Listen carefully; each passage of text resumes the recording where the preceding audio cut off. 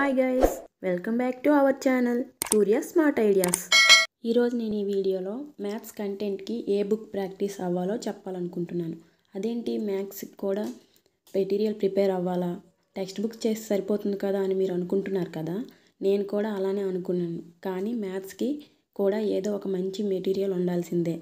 నేను ఎక్కువసార్లు ప్రిపేర్ అయినది నాకు బాగా నచ్చిన ఒక బుక్ ఒకటి ఉంది. అది చెప్ అది చెప్తాను. అది చేస్తే చాలు.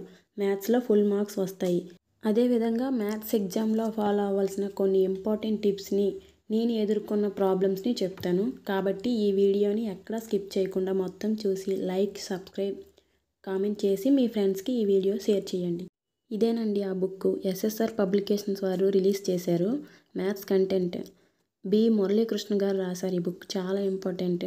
నేను ఈ బుక్ని నా ప్రిపరేషన్లో ఒక ఇరవై సార్లు ప్రాక్టీస్ అయ్యి ఉంటాను చాలా చాలా బాగుంటుంది నే బాగా నచ్చిన బుక్ నాకు ఈ బుక్లో కంటెంట్ చూడండి ఒకసారి. ఏంటి? తక్కువ టాపిక్స్ ఉన్నాయి అనుకుంటున్నారా? కానీ ఆయన ఈ బుక్ని థర్డ్ క్లాస్ నుంచి టెన్త్ క్లాస్ వరకు ఉన్న చిన్న చిన్న టాపిక్స్ అన్నింటినీ అవి ఏ మెయిన్ టాపిక్స్ చెందుతాయో దానిలో చేర్చి రాశారు. ఉదాహరణ వ్యాపార గణితం చూసుకోండి. దానిలో బారువడ్డీ చక్రవడ్డీ లాభాలు నష్టాలు శాతాలు నిష్పత్తి అనుపాతం భాగస్వామ్యం కాలము పని కాలము దూరము గడియారాలు ఇలా అన్నింటినీ ఇచ్చారు. ఈ బుక్లో ముందు ఒక టాపిక్ కీ పాయింట్స్ ఇచ్చి సూత్రాలు.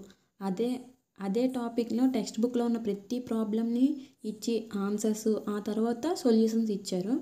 మనం ప్రాక్టీస్ చేసినప్పుడు సింపుల్గా ఫాస్ట్గా చేయొచ్చు అనమాట రేఖాగణితం ఇది చాలా ఇంపార్టెంట్ టాపిక్. ఇది ఆల్ కాంపిటేటివ్ ఎగ్జామ్స్కి ప్యూర్ మ్యాథ్స్లో అడుగుతారు. మిగతా ప్రాబ్లమ్స్ని ప్రాక్టీస్ చేస్తే వస్తాయి. బట్ రేఖాగణితం థీరీలా ఉంటుంది. దాన్ని చదవాలి. వాటిపై ప్రాబ్లమ్స్ని ప్రాక్టీస్ చేయాలి. ఈ బుక్ ఓన్లీ డిఎస్సి వాళ్ళకే కాదు ఏ ఎగ్జామ్ ప్రిపేర్ అయ్యే వాళ్ళకైనా బాగా యూజ్ అవుతుంది. ఎందుకంటే దీనిలో బేసిక్స్ నుండి పూర్తి కంటెంట్ వరకు ఉంటుంది. ఈ బుక్ చేసిన తర్వాత మనం ఇంకే బుక్నైనా చేయగలం. నేను ఈ బుక్ని ఎందుకు ఎక్కువగా ప్రిఫర్ చేస్తున్నానంటే దానికి కొన్ని కారణాలు ఉన్నాయి. ఫస్ట్ రీజన్ ఏంటంటే ఎక్కడైనా మనం కోచింగ్లో జాయిన్ అయినా లేదా రూమ్లో చదువుకోవడానికి వెళ్ళినప్పుడు మనం మ్యాథ్స్ టెక్స్ట్ బుక్స్ అన్నీ మోసుకెళ్ళాల్సిన అవసరం లేదు. అవన్నీ పెద్దగా ఉంటాయి కాబట్టి బరువు ఎక్కువగా ఉంటుంది. ఇదైతే అన్నీ ఒక దగ్గర ఉంటే సింపుల్ క్యారీయింగ్ అనమాట సెకండ్ వన్ మనం మ్యాథ్స్ టెక్స్ట్ బుక్లో ప్రిపేర్ అయినప్పుడు అందులో సొల్యూషన్స్ ఉండవు.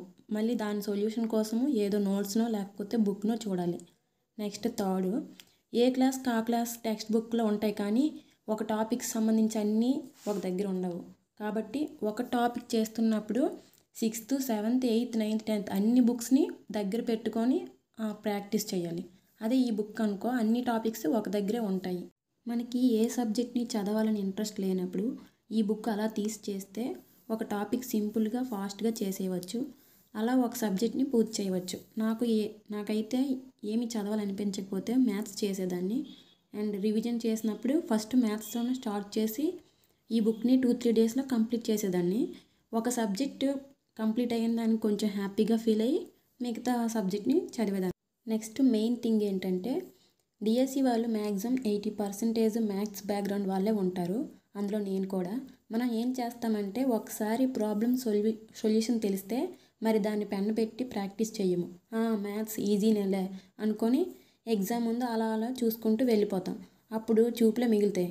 కోర్స్ మీరు ఈజీగానే సాల్వ్ చేయవచ్చు కానీ ఎవరైతే బాగా క్యాలిక్యులేషన్ పార్ట్ ప్రాక్టీస్ చేస్తారో వారికంటే మనం స్లోగా చేస్తాం. ఒక్కొక్కసారి ఎక్కడైనా ఆగిపోవచ్చు కూడా. అందుకేనేమో ప్రాక్టీస్ మేక్స్ మ్యాన్ పర్ఫెక్ట్ అంటారు. సో ఫ్రెండ్స్ నా అనుభవంతో నా సజెషన్ ఏంటంటే మ్యాథ్స్ ప్రాబ్లమ్స్ని చూడవద్దు. క్యాలిక్యులేషన్ పార్ట్ని ఎక్కువసార్లు ప్రాక్టీస్ చేయండి. ఇంకా మీకు ఏమైనా డౌట్స్ ఉంటే కింద కామెంట్ చేయండి లేదా టెలిగ్రామ్ గ్రూప్లో మెసేజ్ చేయండి. All the best to every